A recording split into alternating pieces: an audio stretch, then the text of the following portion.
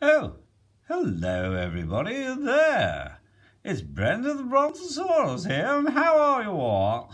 I'm having a rather nice day today, you know. Uh, I've just woken up from my slumbers, and I rather fancy a dip in the, the lake over here. I think I think I shall go and have a dip, though of course I'm not a diplodocus. oh yes, yes, yes, very good.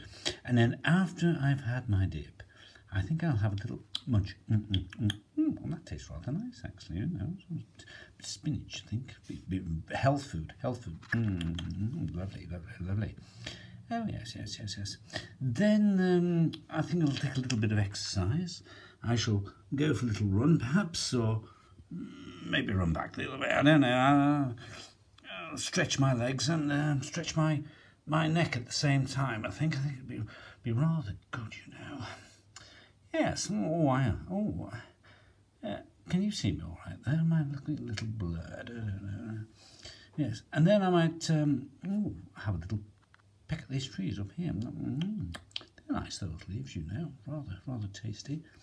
And then after that, I think I might just lie down, and have a little bit of a, a snooze in the heather down here. yeah, it's going to be a rather busy day. I hope you're all keeping very busy too. Well, bye-bye for now. Bye-bye. Bye-bye, everybody. Brenda signing off here. Bye bye. Bye bye.